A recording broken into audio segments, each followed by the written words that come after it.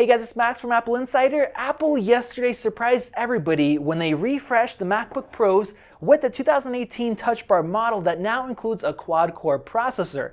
We did a hands-on first look looking at all the new features. We tested out the CPU performance and it is shocking. But I'm gonna leave that for another video that you guys can check out by clicking the little box at the end of this one. But for this one, we're talking about another surprise that came at the same time, and that is this guy right here. This is Blackmagic's external GPU, and they created this along working alongside with Apple. And there's one really, really cool thing that I'm super excited about. I'll talk about in just a bit. But let's go ahead and open this guy up. So this thing comes in at uh, $699 and it has a built-in AMD RX 580 graphics card with 8 gigabytes of memory. Now, just like other external GPUs, it connects to your machine with a Thunderbolt 3 cable, and along with passing through data, uh, it can also power your uh, MacBook Pro, charge it, and make sure your battery is not running out. So very, very cool. Let's get this over here. A little bit excited. Ah, oh, this looks very cool from the start. Very futuristic. Let's pull this sucker out. Oh man, it's got some weight. All right, what do you guys think about this guy right here? Let me know in the comment section below. I personally really dig the design. I was wondering when I saw it online, is this exterior shell plastic? And no, it is not. This thing is solid aluminum and it's like a space gray color. Let's compare it to this MacBook Pro. It's a little bit more shiny, but it matches decently well. So if you're gonna have it next to your MacBook, it's gonna look good. And I like this handle right here. Uh, this is solid. So this is made out of plastic right here, but it's built in really well. So this is gonna be the air intake here, kind of like on a Mac Pro, except it's not a cylinder. And this looks like an exhaust with a large fan right up top. Uh, one thing that is very cool and special about this unit um, is that the fan here is rated at only 18 decibels. And this is an issue that we've had in the past with external GPUs. The fans are always really loud. You typically have a loud fan on the enclosure itself, and then you have another fan or multiple fans on the graphics card, and that can definitely get annoying, especially when you're used to Apple products that are typically quite quiet. This guy's gonna be very, very quiet. Spin it around here so you guys can see. These are our ports right here. We have our power jack. We have a single HDMI 2.0, so that supports 4K at 60 hertz two whole Thunderbolt 3 ports. Yes, I said it, two Thunderbolt 3 ports. I'll talk about that in a second here. And we have four uh, USB 3.0s.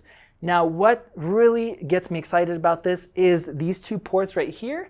Most of the time, when you have an external graphics uh, enclosure, you plug it into your MacBook and then you have to plug in an external display into it, but you only have the options that are available on your graphics card. That means you can only use HDMI or DisplayPort. So if you're in a situation like I am and you own a 5K LG Ultrafine Thunderbolt display or a 4K one or maybe a cinema display, you cannot use that with a Thunderbolt. So if you spent 1300 bucks on a beautiful 5K display, you are out of luck. And I even considered selling that display so I can use an external graphics card with my MacBook Pro. Now you don't have to. This guy is the first one to support that. Let's go ahead and pull out the accessories that they give us here. We have a power cable in here, and we have a Thunderbolt 3 cable, and man, is this thing short. Wow, so this is about as far as you can get from your MacBook Pro, which shouldn't be too big of an issue, but if you wanted to hide this like under your desk or something like that, this guy is not gonna cut it, but you can buy another one that's uh, up to six feet long that will still support everything. So I'm gonna unwrap this power cable and get my 5K display. So I'm going to plug in the power here and our Thunderbolt 3 cable. As soon as I plugged in the Thunderbolt 3 cable, I heard a little click internally, but it doesn't sound like this unit's powered on just yet. And I don't see any sort of power button hidden away, so it could just be automatic. So now let's plug this guy in. Okay. The laptop's charging, so we're getting power. And it's actually on. it was that quiet that I couldn't hear it over the AC. So right away, I'm seeing a little icon that popped up here. I recognized it right away. And there we go, we have this running. We can close this and our monitor should stay on. I don't have a wireless keyboard or mouse connected here like I typically do on my regular desk, but we're running using the MacBook Pro with that new quad-core CPU that is extremely powerful now with an extremely powerful graphics card that's going to do great for video editing and a beautiful 5K display. Now I'm really curious about how this guy's going to perform and we're going to be doing a variety of tests and benchmarks and everything else that you guys want to know about. Uh, but I want to see um, our performance with Geekbench 4, let's say. So here's our OpenCL results for the integrated graphics, almost 33,000 and right away the RX 580 shows up. So let's get, give it a run and see what we get. So there you go, guys. We have a score of 110,500 compared to just under 33,000. So a massive difference compared to the integrated graphics.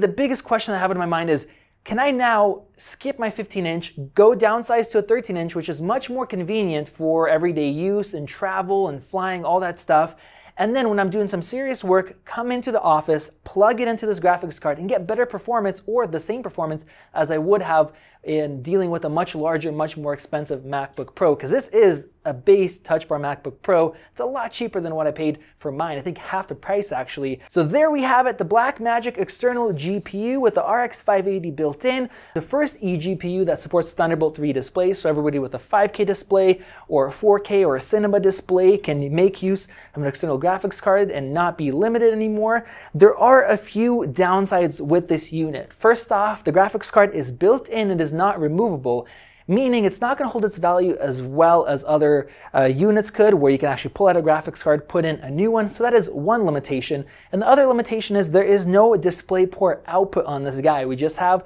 the Thunderbolt, and we also have HDMI 2.0. But I did order a Thunderbolt 3 to DisplayPort cable, and we will be testing that out with this eGPU and seeing if all you guys that don't have an HDMI 2.0 port will be able to make use of this external graphics card enclosure.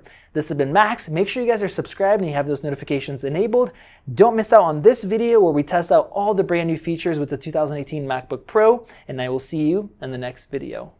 If you enjoyed this video, like it and hit that subscribe button. Also, check out our price guide, which makes it extremely easy to find the best deals on Apple products updated daily.